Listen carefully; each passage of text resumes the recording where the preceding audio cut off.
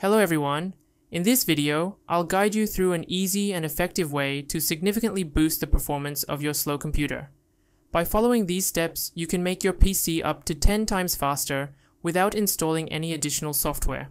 Click on the Start menu on your taskbar. In the search bar, type View Advanced System Settings. You'll see the option appear at the top of the search results. Click on it. Once you've opened the Advanced System Settings, a new window will pop up. Navigate to the Advanced tab.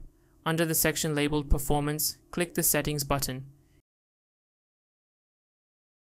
In the Performance Options window that appears, you'll see several adjustment options. Select the option labeled Adjust for Best Performance. This will disable unnecessary visual effects and prioritize system speed. Click Apply, and then click OK to save the changes. That's it. You're all set. After applying these changes, you'll notice a significant improvement in the speed and responsiveness of your computer. Try using your PC now and compare the difference. It's like having a brand new machine.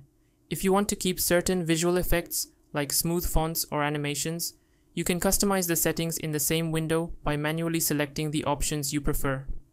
Stay tuned for more quick tips to enhance your PC's performance.